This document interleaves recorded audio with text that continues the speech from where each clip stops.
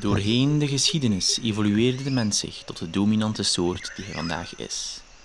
Uitgestrekte landschappen en woeste wouden maakten plaats voor een nieuw habitat, de stadsjungle. In deze stadsjungle moet de mens zien te overleven. Wanneer de tweedagelijkse trektocht van en naar het werk zich op gang trekt, ontstaat een chaos waarin alles en iedereen komt vast te staan. De evolutie van onze soort heeft een knelpunt bereikt. De stadsjungle omklemt ons als een verstikkende liaan. Maar zoals altijd vinden evoluties plaats.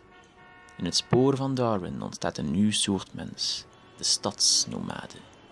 Gracieus beweegt hij zich door het stilstaande verkeer met behulp van zijn Urban Nomad, een innovatieve elektrisch aangedreven fietskar. Bagage en ballast vormen geen problemen meer.